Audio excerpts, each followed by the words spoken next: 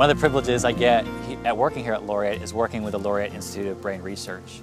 As medical director, I get to work with Kyle Simmons and Wayne Drevets, who are nationally and internationally renowned neuroimagers.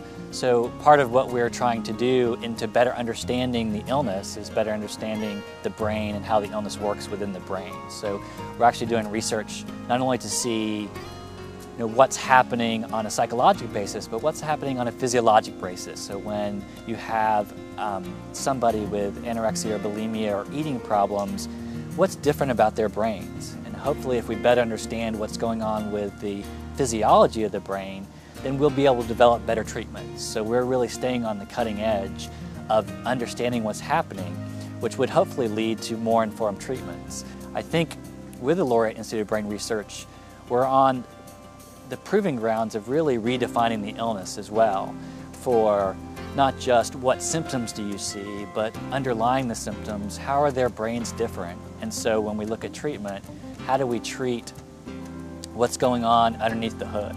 You know, not just treat the internal symptoms, but how are we treating their individual brains for what makes them different and what's made them have an illness in the first place. And so um, we have the ability with myself working over there to be understanding the way no other place can about exactly what's happening and being able to use that to inform our treatment and uh, keep us on the cutting edge of using techniques which are more likely to result in more positive outcomes.